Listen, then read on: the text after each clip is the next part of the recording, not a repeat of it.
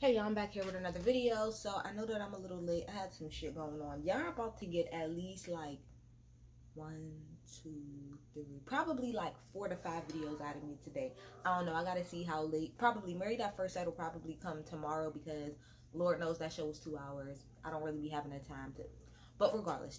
So let me get here. I'm sorry y'all I'm late with the Real Housewives of Atlanta review. It wasn't, it's boring. So that's why I'm not like in a rush to review it. It's boring It's Let's just get to it. This is not to be a long review. This is to be really quick to the point.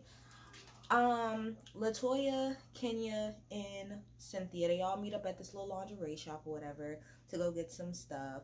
I don't even really know what happened there. Um, they were just kind of talking about the party and stuff, and the only thing to me that stuck out there is that Kenya is out here sending Latoya naked pictures of her or whatever. And again, like I said, if y'all are like bumping kitty cats or whatever, just say that. But I don't like, and I mind you, I'm not even a lesbian, but I don't like people who pretend, quote unquote, to like to like be like you know what I'm saying? Like people who like it's a performative thing. It's not because you're really really into her. Like it's more of a performative thing. If y'all bumping kitties, bump kitties. But outside of that, I really don't care. I do not like Latoya. I don't even. I do not like her. Period. I don't like her on this show. Um, I understand what Bravo was trying to do, but to me, she brings nothing to this show other than you try. Like you're looking to have a moment, and that's the shit that I can't stand. If you're gonna be on the show, just be on the show and be yourself. Don't come on here specifically looking for a moment. I think Latoya would be more so towards like your VH1 type. Give her 11 hip hop. Give her basketball. I don't give a fuck. But she doesn't fit to me. You want to talk about Karen? Talk about oh Dr. Wendy doesn't fit. No, Latoya doesn't fucking fit on this show. At the fuck off. Don't really see her purpose other than bumping kitties with uh Kenya. Okay. Um, then they talk about the whole party. They call Kandi to see, you know, what the dress, you know, what the dress code is supposed to be. And she's like, you know, just dress up really nice. And both of these hoes, Cynthia talking about some Joe Biden is coming. Somebody gonna say, oh yeah, he really do want the black woman vote. Okay, if he wants the black woman vote, why the fuck would he go to y'all? Y'all don't speak for the rest of us, and can't nobody on that cast convince me to vote for anybody. Cause none, none of y'all have the fucking range, as far as I'm concerned. None of you hoes have the range. So that would be so fucking pandering. He does enough pandering as is. If he was to come onto the Real Housewives of Atlanta, that would be pandering to like the M-Team's level. You hoes ain't that motherfucking important. Anyway. Then we go to Porsha's house or whatever, and um, you know, Porsha tells um her sister Lauren and her mama come over, and you know, Porsha's saying, you know, how she um liked the doll, you know, that Kenya got, which I'm sorry, I don't know, is it just me or I felt like the doll was shady. Like she got you your daughter a Rosa Parks doll. Like I guess maybe it was supposed to be like cute, like hey, you know, look at what you're doing. But after hearing what Kenya actually feels about the work that Porsha is doing, to me it gives me a little bit a little bit of shade in the gift. But whatever, she didn't take it that way. She's like, it was really really nice to her, you know. And then Lauren's like, well, damn, I feel bad because. I did. I told her not to come, and Porsha's like, "So that's like that's fine. Nobody knows where we are, and that's true. Nobody knows where they are. Okay, want to remember that? Can you want to write it down? I hope Andy's writing that down right now as a fucking question. Um, so then Porsha talks about the book that she's writing. Am I interested in the Porsha book? No, no shade. And I love Portia. Porsha probably one of my favorite people on this show, but no, I'm not very interested in writing reading Porsha's book. Um, her and Lauren are half sisters. They share the same daddy. Um, Lauren lived with her daddy full time uh when her when Porsha mom and her father got a divorce she didn't she seen him pretty much like on the weekends and then he died like when she was I think a teenager or something like that um you know she talked about how she didn't like she didn't think that she was in well, it wasn't until she got older that she realized that she was like in like abusive relationships. Girl, allegedly, but we couldn't even count Kordell. The way that he treated you, you clear. When she said, I didn't know I had daddy issues, girl, it's written all over you from the way that you I don't even want to say the way you talk. It's just the whole way you act and you carry yourself. It's obvious you have daddy issues, but you're not the only one, so it's fine. Um, then she talks about you know how she picked the dentist to have her baby. Um, and I, people are surprised. I'm not surprised. It's obvious that she specifically picked Dennis. And all of the reasons that she said, I'm not even surprised that somebody like Porsha would find all of those things good enough for her to have a baby. This bitch said, Oh my gosh, he has his own place. That's the bare minimum he should. He has his own car after a certain age. That's the bare minimum you should. Now, depending on where you live, because if you live like somewhere in like New York City or whatever, I can understand you not having a car. But having a car, having a mode like motor of transportation, that should be included in the minimum he don't have any kids. If that's not something that you want, then okay, sure. And he told me that he loved me. He told me that I was cute. That's basic teenage shit. He told me that I was cute. That's what I did in middle school. If somebody told me that I was cute, then that was my boyfriend. That's how we roll in middle school. That's how I know you have daddy issues. You're a grown ass woman. And the fact is, Porsha, you are Porsha, so you really could, for the most part, get just about any nigga that you want if you really tried. And the fact that you specifically sat and chose Dennis because he said that you were cute and because he had a crib of his own and a house of his own. But you live in Atlanta. I know for a fact this is not the only nigga in Atlanta with some money. The, and clearly he wasn't worth shit. So whatever. Do better. That that's just a lesson to women to do better, okay? Then we get to the engagement party whatever. See, this is almost done. We get to the engagement party and um Kenya wanted everybody to show up before Cynthia did, so it can kind of be a surprise. But you know, you know, uh, what is it?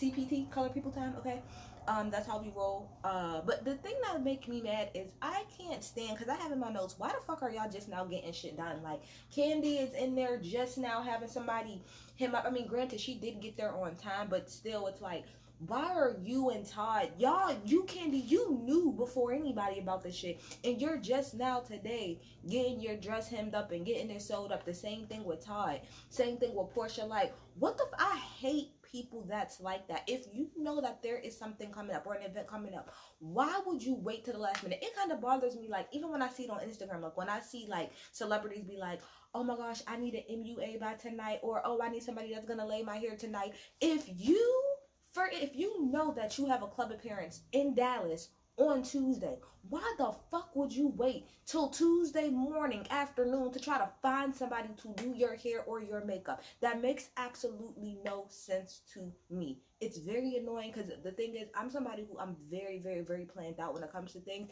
I be having like when I went um on vacation to Vegas, I had all my outfits packed and ready, picked out and ready at least five months fucking prior because I wasn't planning. I'm not waiting till last minute to do it. And it's rude. It's rude at the end of the day, okay? So, whatever. So, Kandi and Todd gets there first. I mean, so no. Who gets there first? Tanya gets there first. And Tanya's like, oh, are you throwing this party because if you messed up her engagement? And Kandi's like, no, no, that's exactly what it is, but whatever. Then Kandi and Todd come, whatever. Um, and then, you know, everybody else is late. So Cynthia and Mike shows up. Um, they were confused at first. They didn't even realize what the fuck was going on until they like had to stop and look around, and then they realized what it was. So that was cute, or whatever the case may be. Um, after they do all of that, you still waiting for some more people to come. Um, uh, Cynthia, I guess she wasn't gonna have anybody be her bridesmaid, but I guess after that she felt like she should ask, so she asked Kenya, and then eventually she asked Kandi if they wanted to be her bridesmaids. I mean, congratulations. I don't know. I don't give a fuck. Um. Then some of the girls showed up. Who showed up? I think. Who wait? Cause who was all the fuck there? Now that I'm thinking about it, Latanya came. Can I know who I came? I'm trying to see who came on time. I think Marlo ended up coming, but she was late. But she wasn't ridiculously late, but she was late. Anyway, Kandi hops on the mic. Now, this is the thing about Kandi. I feel like Kandi has an acquired, you know how people like it's an acquired taste. I think Kandi has an acquired voice. And I also think it depends on the day because I personally do not care for Kandi's voice 95% of the time. 95% of the time, I don't like the way that it sounds, specifically live. However, the reason why I give her grace is because there is, I want y'all to go on YouTube and look up um Xscape Tonight Live. Like they sing this song, Tonight tonight. Oh.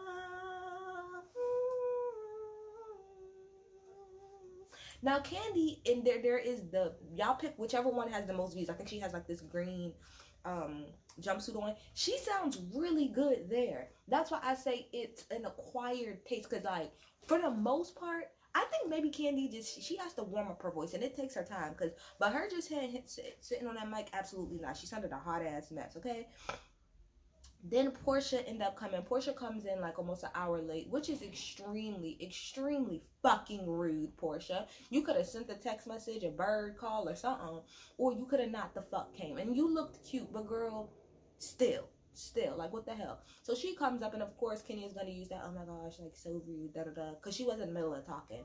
But here's the thing. Here's the thing. I would appreciate it if you kept the same energy across the board, Kenya, because then when Latoya walks in there, you did say under your breath, I mean, uh, it's better late than never. But you didn't say that about Porsha. You didn't say, oh, I mean, well, she's late, but fucking at least she's here. Because you don't like her. But that's the thing, Kenya. If you're going to be a shitty person, like, or if you're gonna be judgmental, keep it uh, consistent across the board. Don't cut Latoya no uh slack just because she's munching on your kitty cat. Like, no, she's she's just Latoya was even ruder because she was later than Porsha. Get the fuck out of here. She's weird as hell. So then they're all sitting at the table talking or whatever. Latoya decides that this is a great moment to pull out the picture that she got at Kenya and to show everybody at the table. And like I've heard a couple people say, like, bitch, it's one thing. First of all, you shouldn't do a period. But it's one thing if it's just all of us girls. You got Todd sitting right here and you got um Mike Hill sitting right here.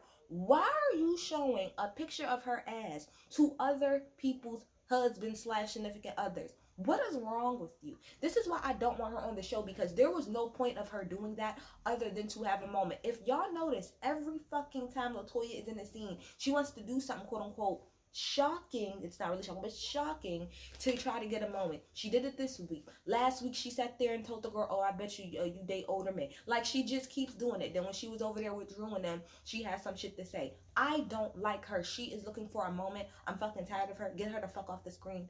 Don't like her. Don't care for her. Next, okay. Kenya's just horny as hell, sitting up here talking. She really needs to get like a decent ass. Okay, this is what Kenya probably needs there's this little rose going around or whatever. It's a nice little, you know, stimulator. We need to get her a whole bunch of those roses and send it to her because she's way too horny. You going around to table like she has never talked like this before.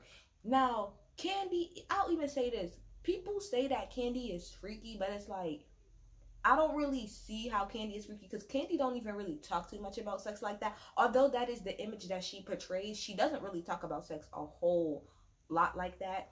But if anybody was gonna talk about sex, I guess it would be Kandi Kenya, you normally don't do this. Like you probably would call somebody else out their name past seasons for even talking like this. But go get one of them flowers. Like calm your horny ass down. Oh, I, I do Kenya and I do I mean I do Kandi and I do uh Cynthia look at this. Like girl, just calm the fuck down. Like Matt, I mean, whatever the fuck his name is, he really wasn't giving you dick that much. Is the only time y'all fucked is when y'all conceive. Do better, sis. Do fuck better. Um, then, uh, you know, Kenya asked Porsha, oh, did you get the gift that I got for Pilar? She was like, yes, I liked it a lot. Thank you so much. Oh, but it would have been nice if I was invited. See, here you go, starting shit again for no reason. And like Porsha said, I mean, she probably didn't invite you because nobody knows where we stand.